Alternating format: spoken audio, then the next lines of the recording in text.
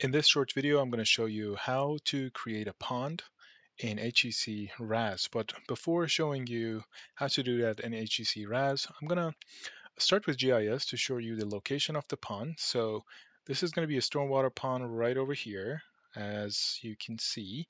And there is a channel running right over here from north to south. So you're going to take water into this pond, and then there is going to be an outlet to the back to the channel.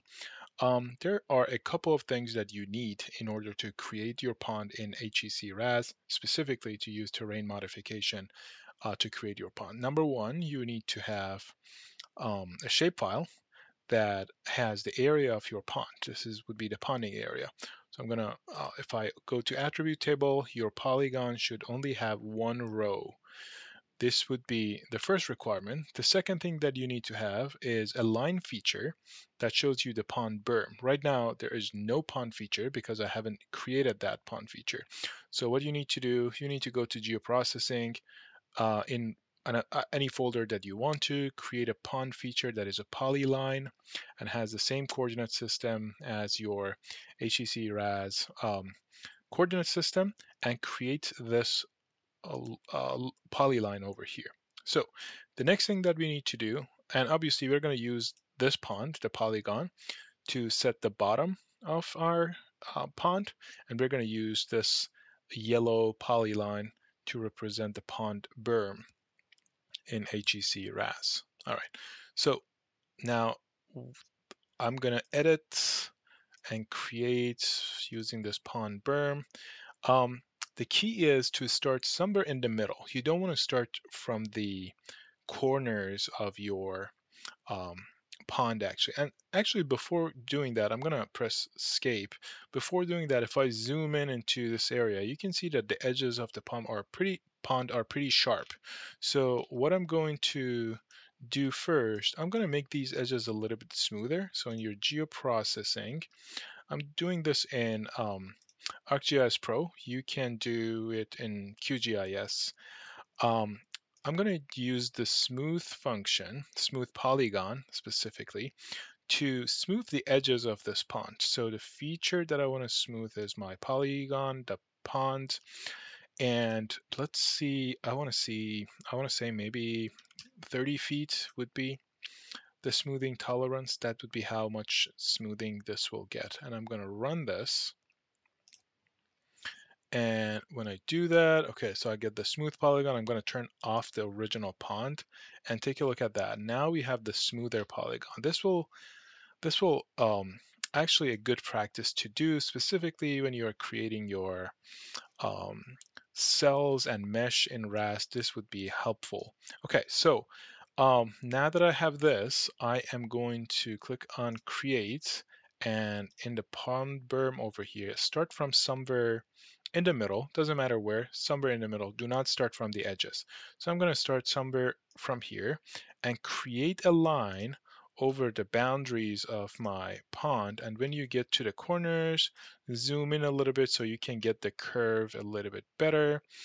Um, I am going to do this really quick. You can do it a little bit more accurate to get the curve, but I'm going to do this pretty quickly. Okay. Um, this will help us to create the berm of the pond in HEC RAS. So I am going to fast forward this process. And when I'm done, I'm going to resume the video so you can see the entire um, berm that I have created for the pond.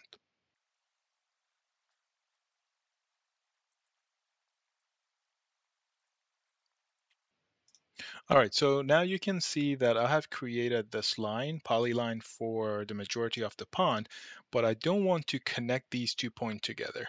And I will tell you why. If you do this, sometimes there will be some errors in creating the berms in HEC RAS, but if you select a point that is farther from your starting point right over here and double click.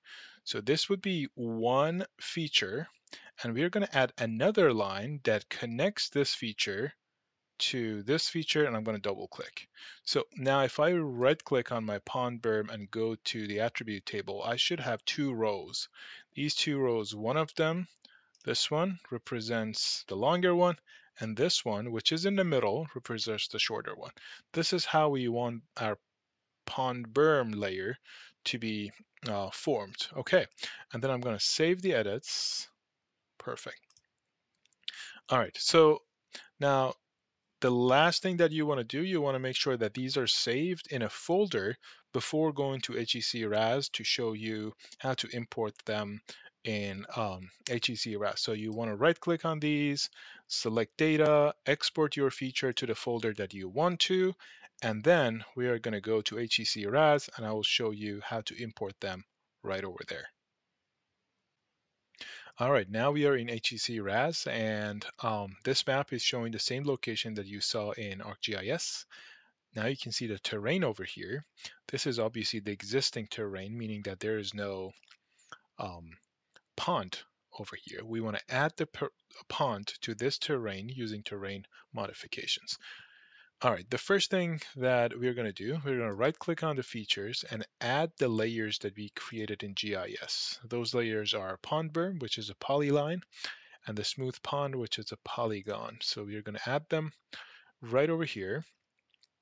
Um, we don't need them anymore, so I'm going to check them off. So right click on your terrain and we're going to create a virtual clone of the terrain and I'm going to call it pond edition pond edition looks like maybe I have already created that before so I'm gonna say one. There we go.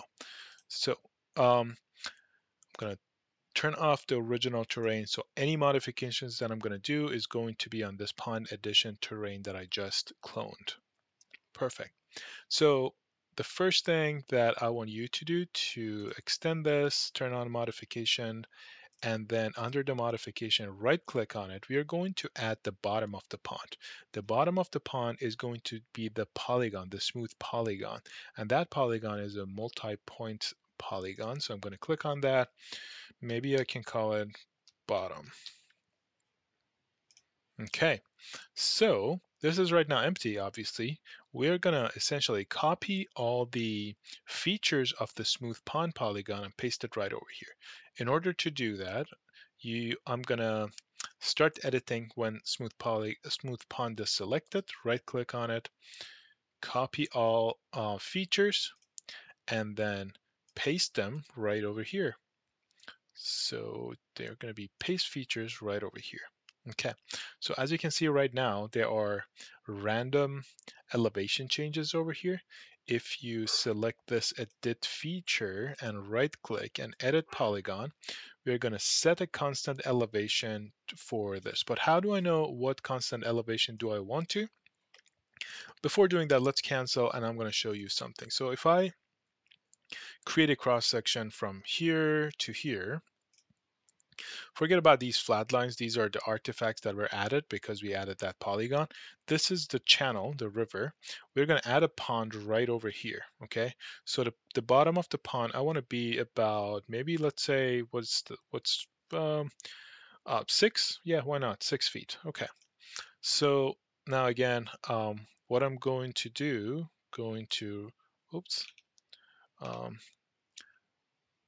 press that by mistake. I am going to stop editing so I get rid of that and save the edit so far. So now I can start editing again, select your edit feature, right click on your polygon, edit polygon modification, constant elevation and put it to six feet and apply. Now you should see now you can turn off the smooth pond as well. Now you can see there is only one color represented over here, which means if I create a cross section, this is the bottom of the pond in the modified terrain that I have um, created. Okay, so this is useful, but remember that we created the berms for the pond as well. So when we are creating those berms, we're going to create a slope for the sides of the pond as well. Right now, the sides of the ponds are vertical, and we do not want that because these are not stable, obviously. So um, Let's stop editing over here and save our edits. We can turn this off for now. Um, similarly, I'm going to right click on modification, add this time a line, but what kind of line? Berms are high ground, right? So I'm going to add high ground, call them pond berm right over here. Similarly, I'm going to click on pond berm, start editing, right click, um, copy all features, go to pond berm over here and paste the features right over here. So you can see automatically it adds a high ground over here, but uh, we want to modify this. And remember that this polyline had two parts. So I'm going to select this, right click on this polygon. You can see one part of it is getting selected. That's okay. We can select the other part later.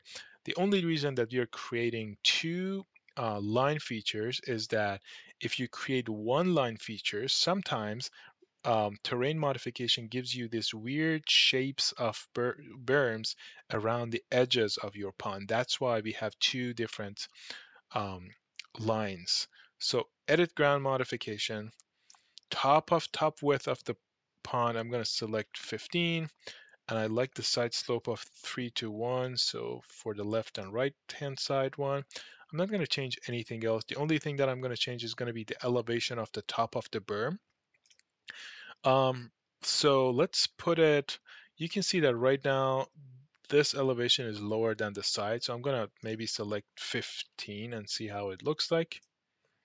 15 and click OK.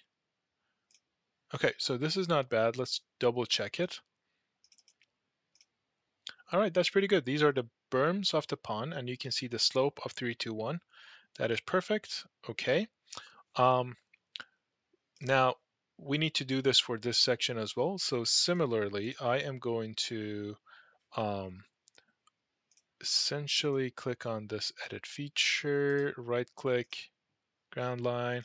I think we selected 15 if I am if I remember it correctly.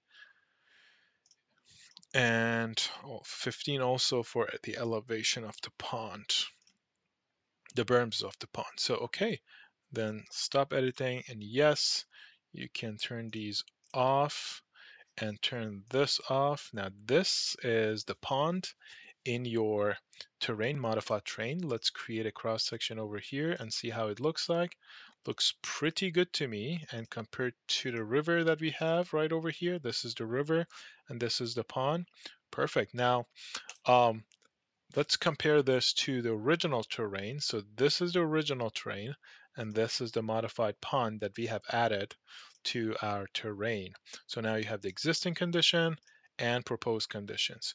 The next step that maybe I will talk about that in a uh, future video is going to be how to create an inlet to this pond that takes water from the river into the pond and how to create an outlet for this pond that adds the water back to the river. All right, that was the video today.